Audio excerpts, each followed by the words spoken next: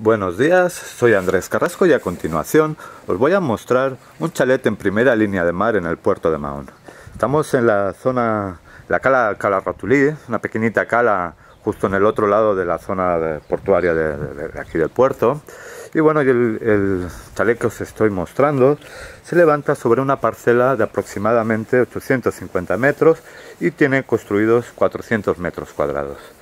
Una propiedad construida en el año 2006 y además es una propiedad construida con todo tipo de detalles, muy bien distribuida además y, bueno, como veis en un paisaje idílico. Estamos en una zona donde encontramos eh, zona de mar, zona de campo y estamos lo que se denominaría, denominaría eh, campo y mar. Muy tranquilo además, es estamos en una pequeña calle que, sin salida donde prácticamente solo acceden los vecinos. Y bueno, en primer lugar accedemos a través del jardín, como veis, una zona con césped, muy agradable, con esta terraza que da aquí servicio a esta parte de la casa. Un garaje de prácticamente 30 metros cuadrados con una zona de taller, que no os mostraré pues estaba lleno de cosas personales. Y bueno, y entramos en la zona de estar hay que destacar la distribución de la casa, muy cómoda y muy práctica. En esta planta tenemos todo lo que es la zona de día, cocina, salón, comedor y lo que es la habitación principal.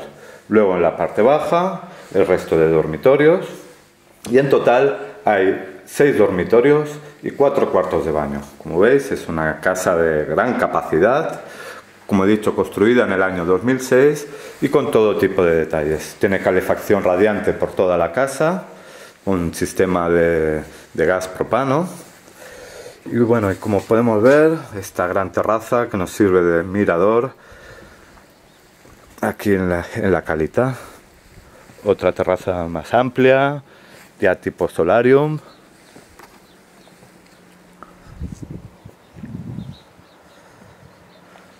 Y sobre todo, pues como veis, mucha naturaleza, la zona de, aquí de, de Calarratulí con pequeños amarres para embarcaciones. Además sería fácil encontrar un, amarre, más o menos, pues, pues prácticamente aquí mismo. Y vamos a seguir. Muy interesante la distribución de este salón.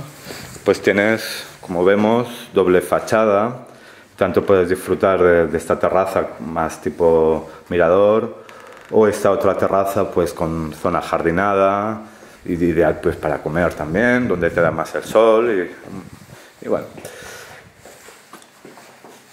Em, bueno, aquí tenemos la cocina, como veis es una gran cocina.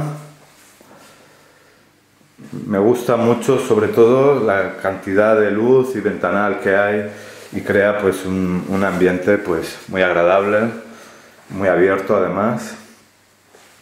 Y desde aquí tenemos el acceso a la zona de jardín, ya que abajo hay lo que es la zona de calderas, también hay un cuarto trastero y aquí detrás un pequeño lavadero que, que queda recogido. Vamos a continuar y aquí encontramos la habitación principal otro detalle interesante es que si la casa es utilizada solo por el matrimonio, pues no, depende, no tiene por qué utilizar toda la, parte baja de, de, la casa. Aquí, como veis, acceso a, a la gran terraza exterior y un cuarto de baño completo.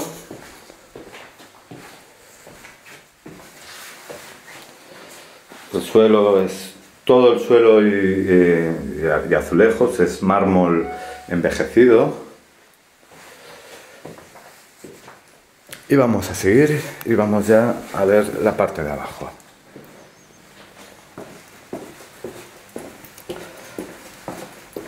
Otro detalle mm, destacado de la casa es que toda la casa está aislada de lo que sería el terreno que la colinda. Entonces aquí abajo, como el terreno sube, hay una parte que quedaría mm, por debajo del terreno. Entonces al estar totalmente aislado, con una, cámara de aire de más de un metro de grosor, pues no hay ningún problema de humedades, ni filtraciones, ni demás. Bueno, aquí abajo tenemos en total cinco habitaciones, todas con acceso exterior. Empezamos viendo, pues como veis, son habitaciones muy grandes, todas con muy buenos armarios empotrados, ocupan toda la superficie, como veis.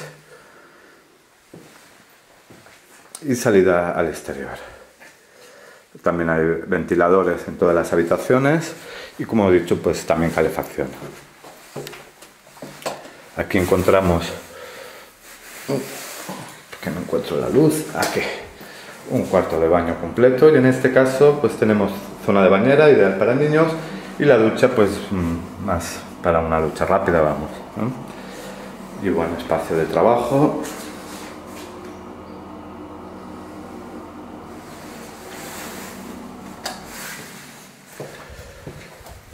esta sala es ideal para pues para un poco despejarla toda la zona de arriba también si hay niños o juventud que quieran estar de una manera más, más independiente de la zona de arriba, o veis también con su televisión y bueno, su terraza además, la terraza que además ya, ya se abre a la zona de jardín de aquí abajo, incluso por aquí hay un pequeño paso que se puede llegar al mar.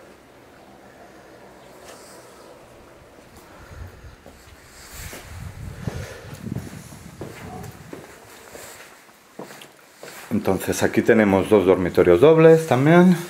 Este sería uno, también con su armario empotrado. Y aquí otro, idéntico al que acabamos de ver, también con, su armario empotrado.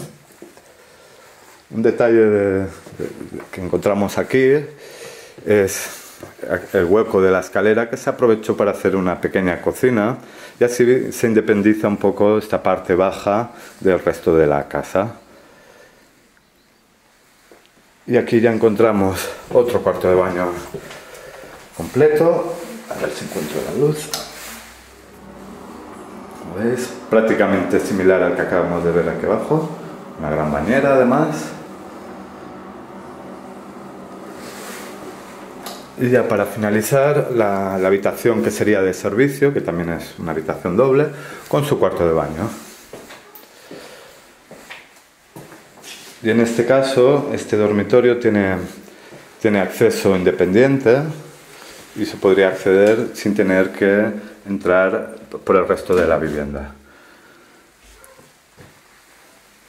Y nada más, espero que les haya gustado y si necesitan más información nos pueden contactar en nuestro teléfono o correo electrónico. Gracias por la atención y hasta pronto.